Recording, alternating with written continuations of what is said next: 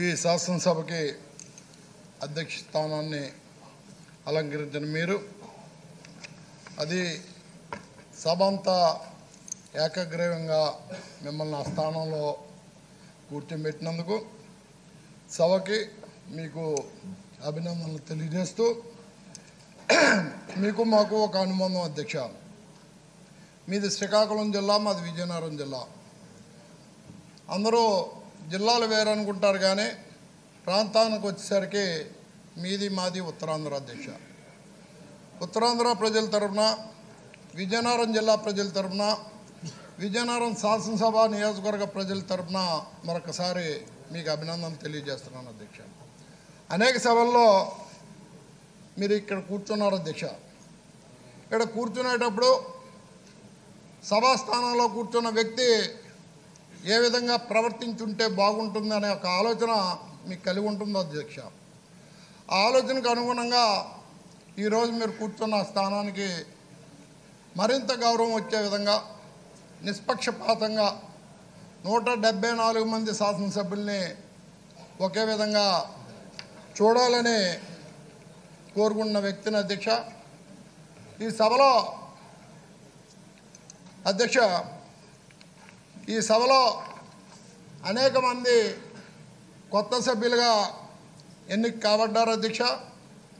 నియోజకవర్గాల్లో ఉన్న ప్రజలు ఎన్నిక కాబడిన మా శాసనసభ్యుడు శాసనసభలో ఎప్పుడు మాట్లాడతాడో ఎప్పుడు మేము టీవీలో శాసనసభ్యుడిని చూస్తామని కూడా అనుకుంటుంటారు అధ్యక్ష.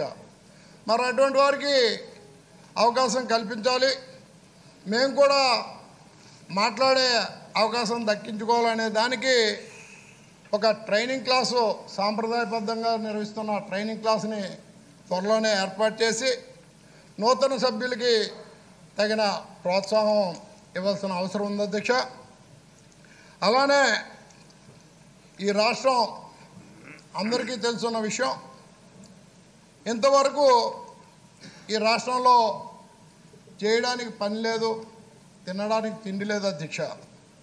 దానికి సాక్ష్యం వలసలు అధ్యక్ష వలసలు ఏ విధంగా ఉన్నాయంటే చెన్నై రాష్ట్రంలో కానీ చెన్నై పట్టణంలో కానీ పక్కనున్న హైదరాబాద్లో కానీ అనేకసార్లు భవంతులు కూలిపోయి మనుషులు ప్రాణాలు పోయినప్పుడు ఆ వ్యక్తులు ఆంధ్ర రాష్ట్రానికి చెందినవారు అనేదే వలసలు ఉన్నాయన్న దానికి సాక్ష్యం అధ్యక్ష.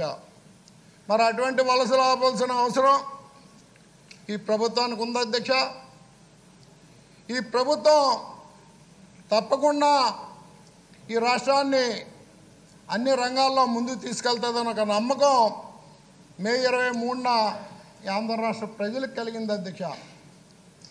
మరి ఈరోజు ఎలాగా నమ్మకం వచ్చిందయ్యా అంటే రాష్ట్రానికి ముఖ్యమంత్రిగా ఎన్నికైన వ్యక్తి యువకుడు అధ్యక్ష ఒక దమ్మున్న నాయకత్వం కలిగిన వ్యక్తి అధ్యక్ష మాట తప్పని మడమ తిప్పని వ్యక్తిగా పేరు పొందినవాడు అధ్యక్ష.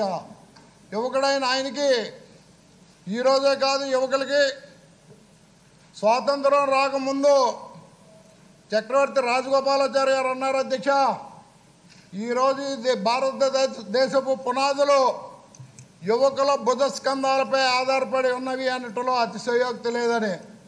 యావత్ ఆంధ్ర రాష్ట్ర పరిపాలన కానీ ప్రజల భవిష్యత్తు కానీ యువకుడైన జగన్మోహన్ రెడ్డి గారి మీద పెట్టున్నారు అధ్యక్ష. యావత్ ఆంధ్ర రాష్ట్ర ప్రజానికం సుఖంగా సంతోషంగా ఉండాలని. అలానే రాష్ట్రంలో బడుగు బలహీన హరిజన గిరిజనుల అభ్యున్నతి కోసం పాటుపడతాడని ఒక నమ్మకం ఈ ముఖ్యమంత్రి మీద ఉంది అధ్యక్ష. మరి గతంలో మాకు అనుభవం ఉంది. అనుభవం ఉందని రెండు వేల పద్నాలుగు ఎన్నికల్లో ప్రజలకు చెప్పి అధికారంలోకి వచ్చిన వ్యక్తులు ఈ రాష్ట్రాన్ని అభాస్పాలు చేసిన పరిస్థితి కానీ అధోగతి పాలు చేసిన పరిస్థితి కానీ ఆంధ్ర రాష్ట్ర ప్రజలు చూసుకున్నారు అధ్యక్ష. ఇంకా కొత్తగా మొన్న జరిగిన ఎన్నికల్లో అనుభవం ఉన్న వ్యక్తి మమ్మల్ని గట్టెక్కిస్తాడంటే నట్టేట్లో ముంచేశాడని ఆ సొంత పార్టీ వాళ్ళే బాధపడుతున్న పరిస్థితి అధ్యక్ష. అటువంటి అనుభవం రాష్ట్ర అభివృద్ధికి అవసరం లేదు అధ్యక్ష. ఒక సంకల్ప బలం కావాలి అధ్యక్ష. ఇందాలు మాట్లాడుతున్న పెద్దలు చాలామంది చెప్పారు.